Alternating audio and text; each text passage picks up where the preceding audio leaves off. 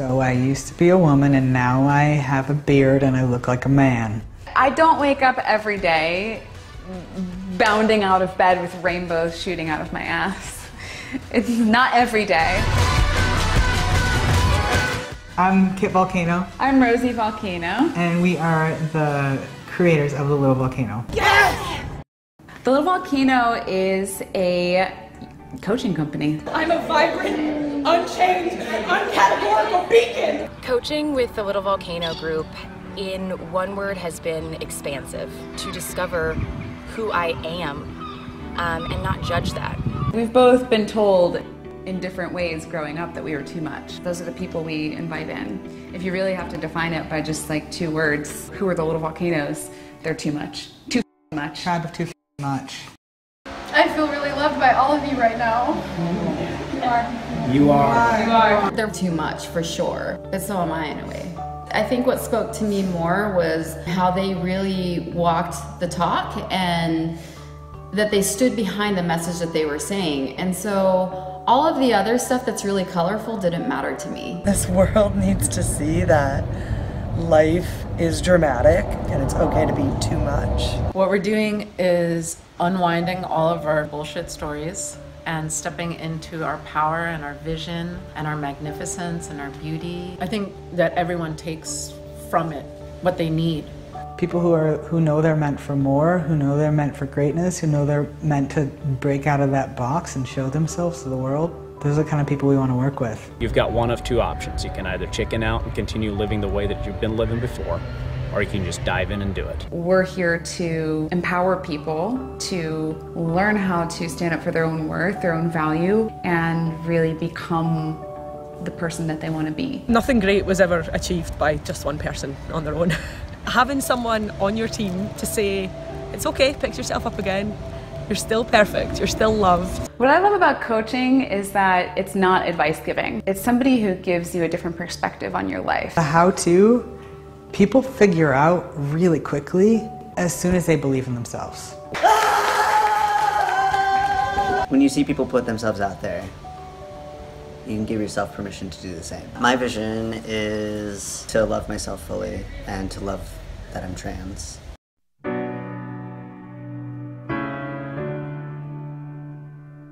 For me, the whole transgender movement wasn't huge when I was young. It wasn't so accessible. So you just learn to deal with what you're given without any idea that you could change it. This is scary. What did you just do? I just took my first T shot. Cool. What do you want to do now? We're going bowling. This is my voice. Five minutes on T. By the time I got a beard, I was like, oh yeah, I should have done this a long time ago. This feels really great. When he transitioned, there was no hesitation or fear on my end being his partner. I'm just very open to all that stuff to begin with. Everything that we do together is about growing and transforming. I got baby volcano.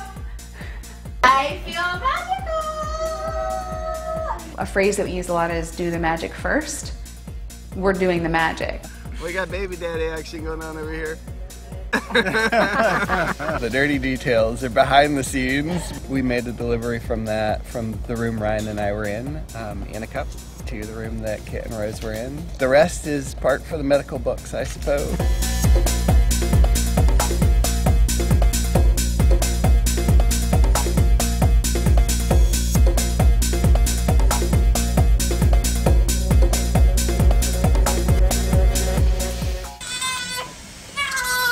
It's right here.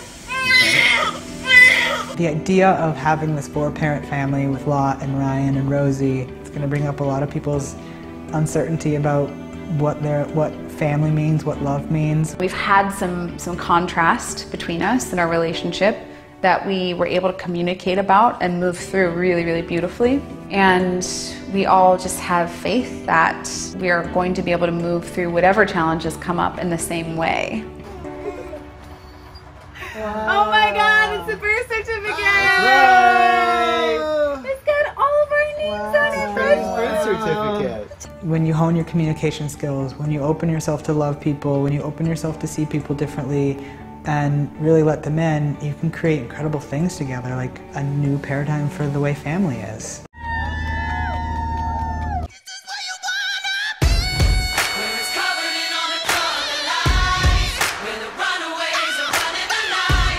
We're living this life that's really fun and weird and quirky, and we have a really good time doing it, and we're successful. This path that we're on with the coaching and the transformative work and the little volcano, it's absolutely my life purpose.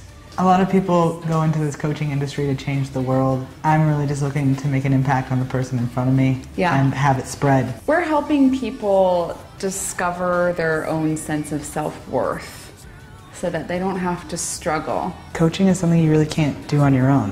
I can't hold all the weight of your transformation, but I can build something incredibly beautiful and teach everyone how to hold each other up.